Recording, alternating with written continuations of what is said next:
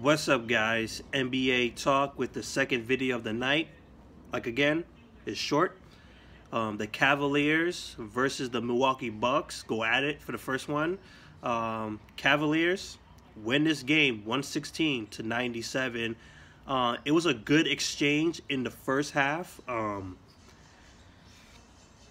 the Bucks came out strong. They played very good defense at the beginning. In the first quarter, it looked very, very solid for them. Um, they were able to keep themselves content.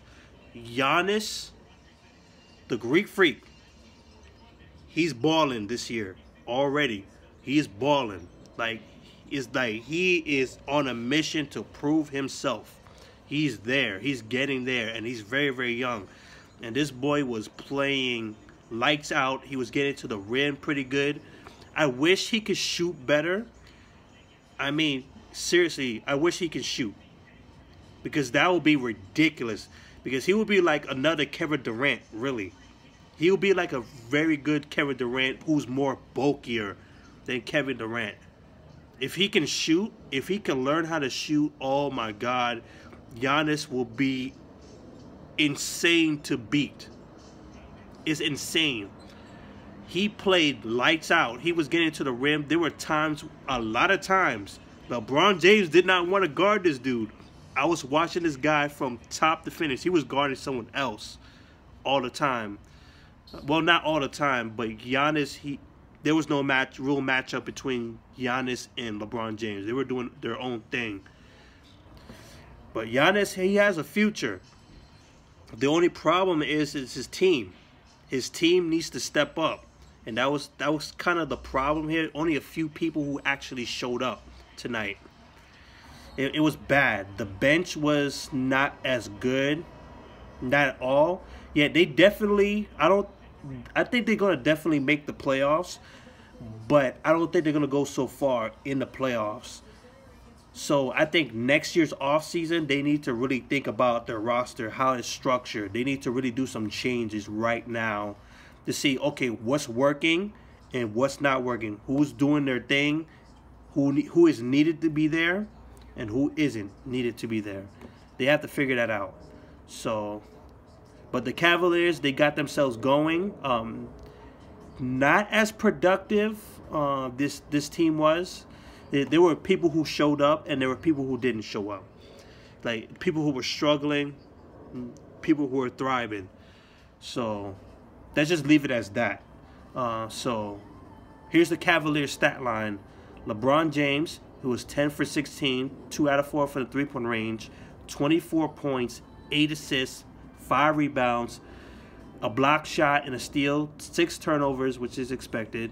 He was plus 13 when he was on the court, he was fine. He was fantastic. He he over the time, over the course of the game, he started to become more aggressive and more aggressive.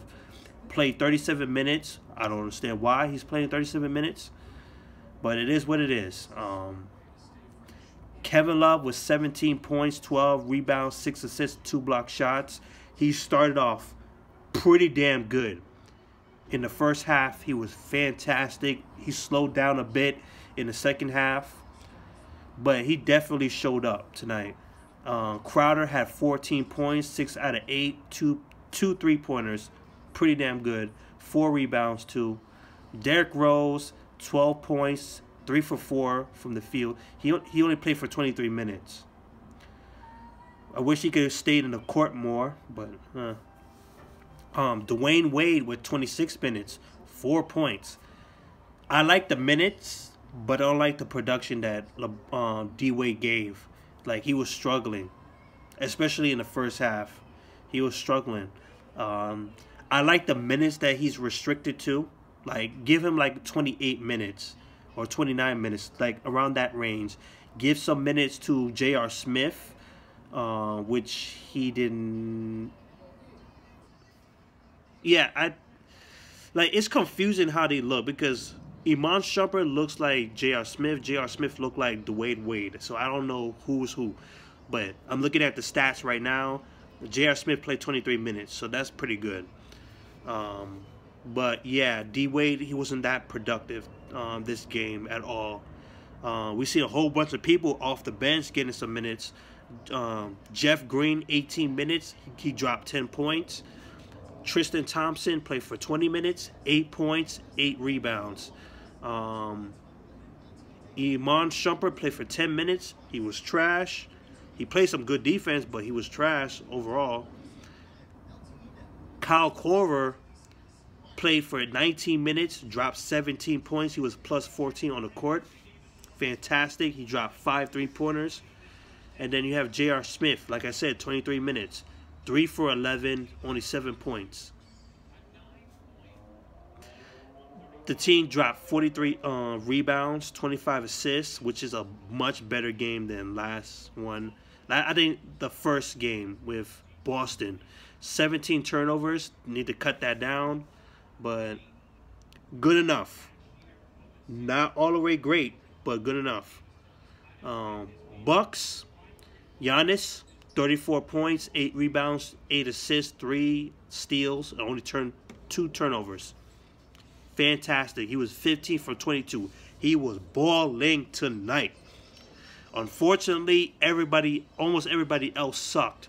Malcolm Brogdon, he played well. He dropped 16 points. He dropped four three-pointers. He was okay. He was very good.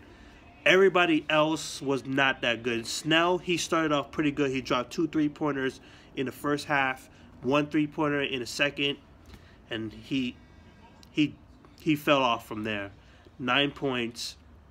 Um, Maker, they need to really develop this dude. They got to develop this dude into something. He can't be just playing 17 minutes of what? Just standing there playing defense while everybody else coming off the bench get his minutes. I don't know. Khris Middleton, 3 out of 10, 8 points, 5 assists. You got to do better. You're practically your sec he's practically the second best player on the Bucks and he's playing like trash at least until Jabari Parker comes back. Um, and then off the bench you have Henson with 4 points in 8 minutes. Greg Monroe with 19 minutes, 8 points, 6 rebounds. Dellavedova played 24 minutes. He was one for five, only five assists. Like, it's not enough production from all these players. Giannis is the only one really doing things. They got to develop these guys. Giannis cannot be the only one developing. They need to spend some time with these players and develop this team.